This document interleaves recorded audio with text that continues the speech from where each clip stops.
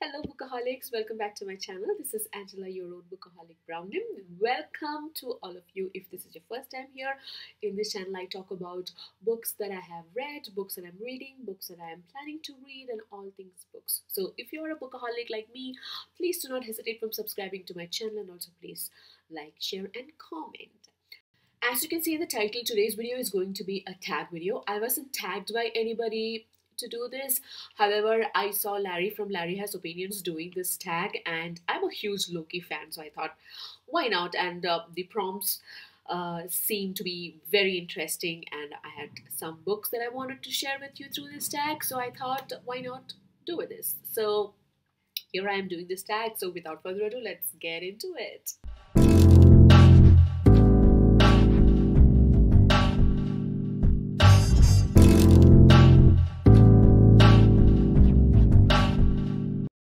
Getting into the prompt straight away.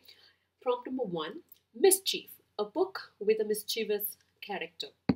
Now, I don't know how many of you have heard about this book, read this book, but I have uh, spoken about this book in many videos of mine, mostly some other tag video.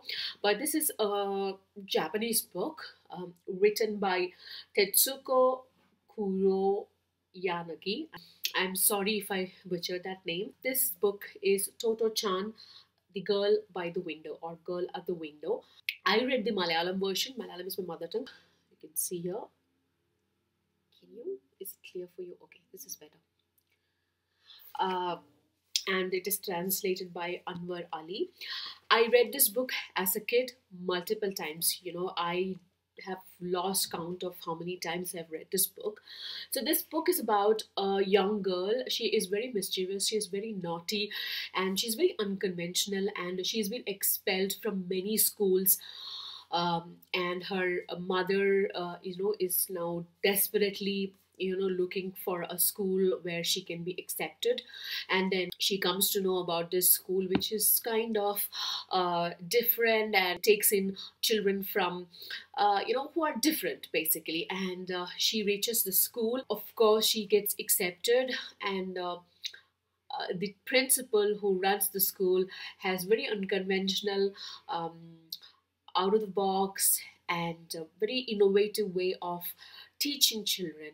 So it's not very textbook, syllabus based teaching, but it's more of, uh, you know, exploring the interest of the children and you know trying to observe uh, you know how they behave and teach them uh, based on uh, uh, you know their reactions to certain scenarios and situations and it's a very interesting book i think anybody can read it uh, you know now that i am explaining the book to you you know that you know it's not just for children but even grown-ups can read this and this book was an instant bestseller in Japan back in 1981 when it was released. And uh, I forgot to mention that this is kind of an autobiographical um, narration by this author. And this author, later on, this young girl, little girl, she grew up to be a very famous TV personality in Japan as well. So check it out, guys. It's very interesting.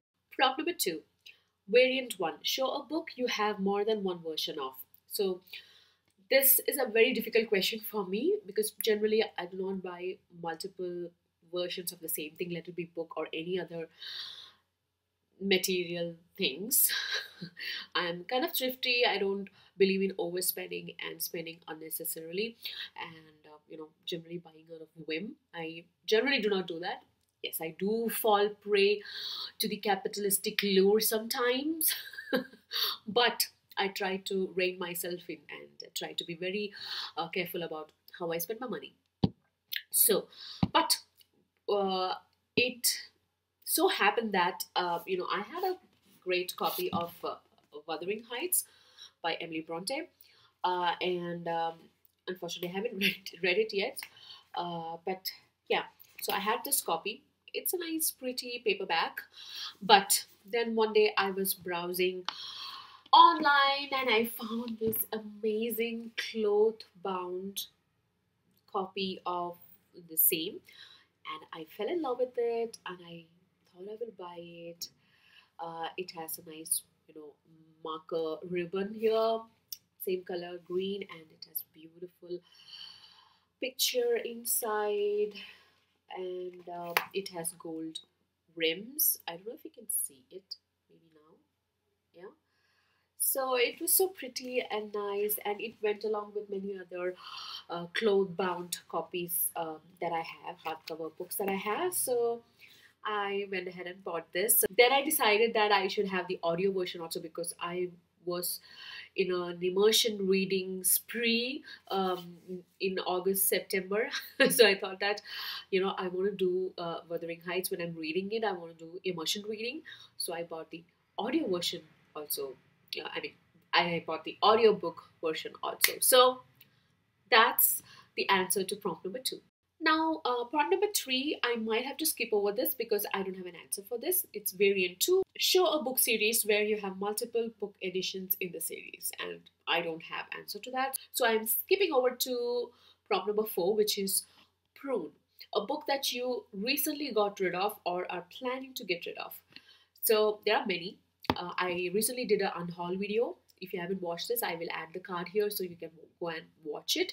And uh, if you want any of those books please let me know. I can send it over to you. And um, it's essentially free. You just have to pay for the shipping. So the answer to this prompt something that i want to get rid of is a book that I really do not enjoy reading, which is uh, The Name of the Wind by Patrick Rothfuss. I know it's a fan favorite. There, there is a huge, you know, following for this book but uh, somehow it did not click with me so i want to uh, give this off to somebody maybe donate to a library or if somebody wants it i can give it to you. Free of cost absolutely. So that was prompt number four. Prompt number five i'm so excited for this. Enchantment a book that you had under a spell a book you could not put down. Now this is something that i'm currently reading. It's a book series which is the Books of Babel series by Josiah Bancroft. I absolutely love this book series. I mean, I have decided that if there is a book that I want to reread, it will be this because oh my god, there is so much to go back and read and absorb again because there are I mean, this book is full of beautiful prose, at the same time, an amazing plot, um, great characters with absolute amazing character arcs.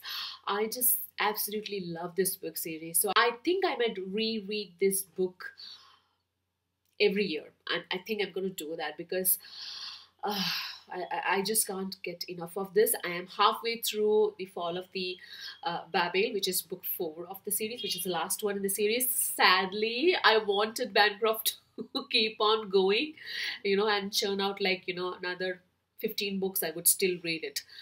That's how much I love this book series. So, yeah, that's the book that has got me completely enchanted.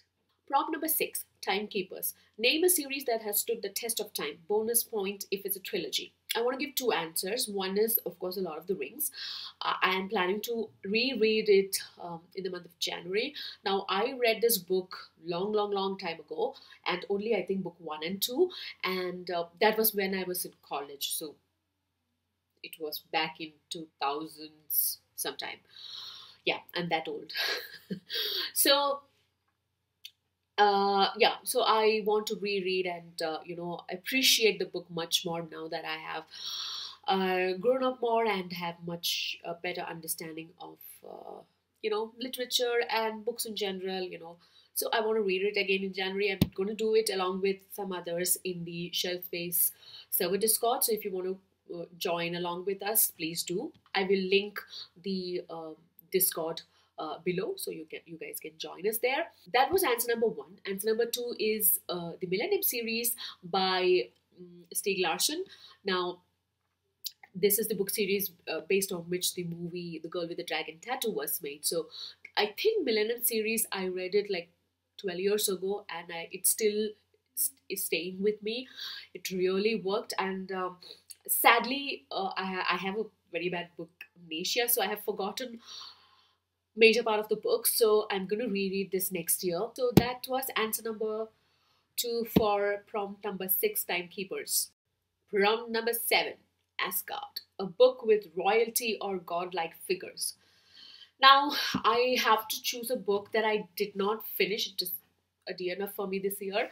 However, it's a very popular book. People just love and adore this book. From somehow it didn't work for me, but uh, because I've been watching a lot of reviews of that book recently, uh, especially from some of my favorite booktubers like Brandon from Brandon's Bookshelf, I thought that I should give this a try once again. And so I will do it next year sometime. And I don't know the actual pronunciation of this book. It is Circe. I know that in Greek it is called Kirke.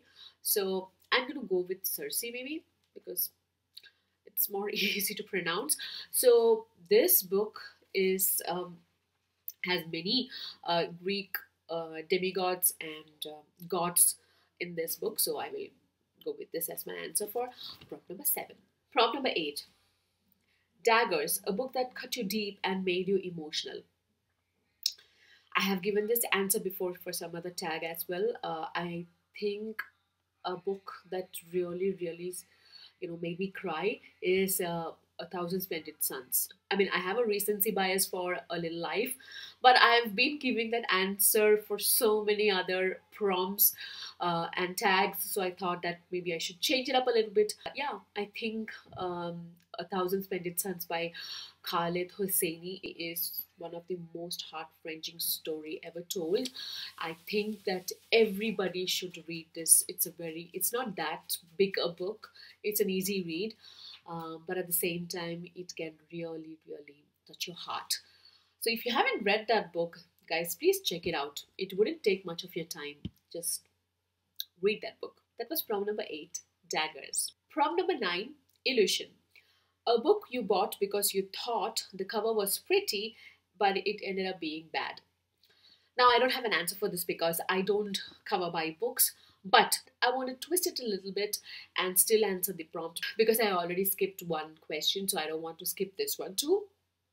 So, the answer, if I can twist the question a little bit, like a book you bought because you thought uh, it was great because of the hype, then that would be uh, Book Thief by Markus Zusak.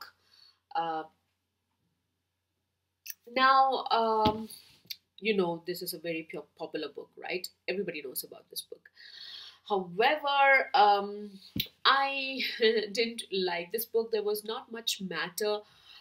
I felt the story was not going anywhere. It was very dry and blunt for me. So, yeah, this did not work out for me, and I fell for the hype and I bought this, and uh, I kind of, yeah, I didn't like it. I was disappointed. so, that was prompt number nine illusion. And lastly, I want to tag some people. I want to tag Anitha from Anitha Gade channel. I hope I'm pronouncing her last name correctly. Apologies if I have butchered it, Anitha. But I thought of you when I was doing this tag, and I thought. Uh, you know this might be interesting one for you to do. And uh, secondly i want to tag um, kiran from noob readers. Uh, she has a wonderful booktube channel. Kiran if you want to do this tag please go ahead and do it. So guys that was today's quick tag video. I hope you enjoyed it. And please do not forget to like share and comment. I will be back with another bookish content before you know it. Thanks for watching. This is angela signing off. Bye bye